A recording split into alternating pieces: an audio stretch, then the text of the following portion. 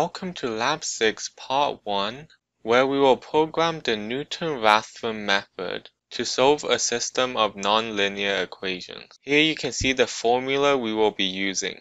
To get started we must first import our libraries. First let's import numpy as np, then we will import sympy as sp, and finally, we will import pandas as pd. First, we must define a function to return delta x, where delta x is equal to the inverse of negative k times by f. Let's go ahead and call this function nr one iteration with the inputs of the f vector and x which is a list of our symbols and x naught which is a list of our initial guesses. Next we will set a constant n equal to the length of f, which we will use later.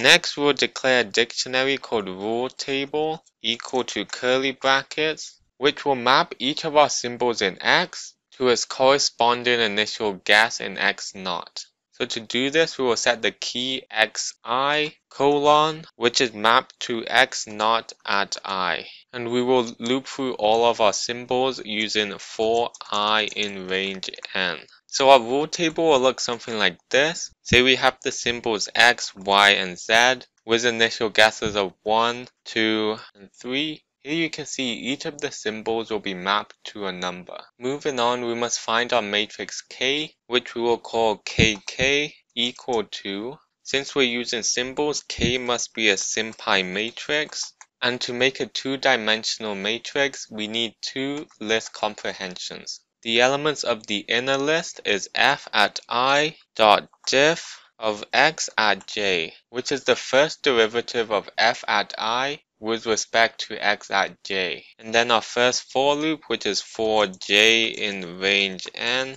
And our second for loop is for i in range n. And this will give us our n by n matrix. Now that we have k, we can refer back to our formula, which states that delta x is equal to negative inverse of k times by f. So we can set delta x dx equal to kk.inv, which is the inverse, dot dot, then sympy dot matrix of f. Finally, we must multiply dx by negative 1 and substitute our rule table. And so we will return this as a list comprehension.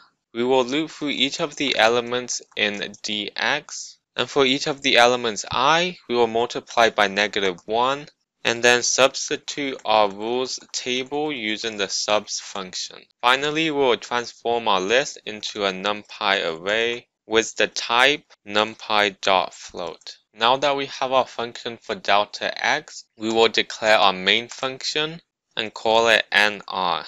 Here we will need the inputs f, a list of all of our equations, x, a list of our symbols, x naught, a list of our initial guesses, and max, the maximum number of iterations, and EPS our stopping error. Then colon.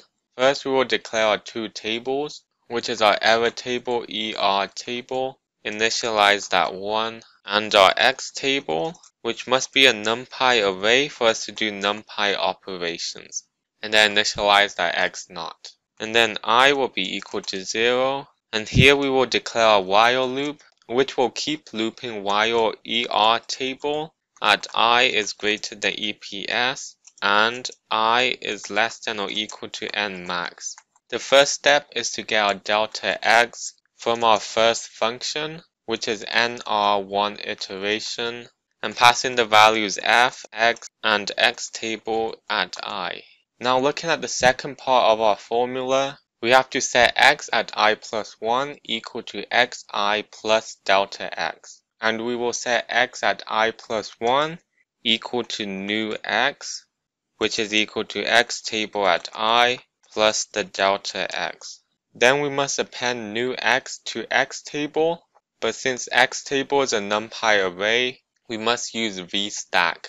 X table equal to numpy dot vstack, two sets of round brackets, x table again, comma new x. Now we must calculate our error, which is er equal to numpy.linalg.norm of x table at i plus 1 minus x table at i divided by numpy.linalg.norm of x table at i plus 1. Then we must append our ER to our ER table using numpy.vstack, two round brackets, ER table, comma ER. Finally, increment i by 1. And now we will build our table T equal to pandas data frame and then a list comprehension where the first column is i plus 1, the second column is x1 which is x table at i0, the third column is x2 which is x table at i1. If we have more variables we will need an x table at i2 and so on. But in this case we only have two variables. And then our next column will be x table at i plus 1 and 0 then our x table at i plus 1 at 1, and finally our error table at i plus 1, another square bracket, and 0. And our for loop will be for i in range of the length of ER table minus 1. Then our column headers will be equal to iteration x1 underscore n, x2 underscore n, if we had an x3, we would also need an x3 underscore n, where in this case we only have x2. Our next header will be x1 underscore out, and then x2 underscore out, and then er. Finally, go ahead and display t. And here we have the full code for Newton-Raphson method.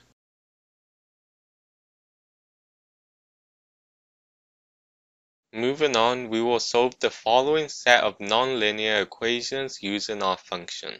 The first step is to declare x1 and x2 equal to sympy.symbols, x1 space x2. Then we will declare all of our equations inside our f list. Our first equation is x1 squared plus x1 times x2 minus 10, comma. Our second equation is x2 plus 3 times x1 times x2 squared minus 57. Then our x list will be a list of x1 and x2. Our x naught is our initial guesses, which is 1.5 and 3.5. Finally, we can call our function nr, pass in f, x, and x naught 50 for a maximum number of iterations, 0.4 zeros, 1 for a stopping error. We will also compare our results with SymPy's nsolve function, where we will pass in our f, x, and x naught lists.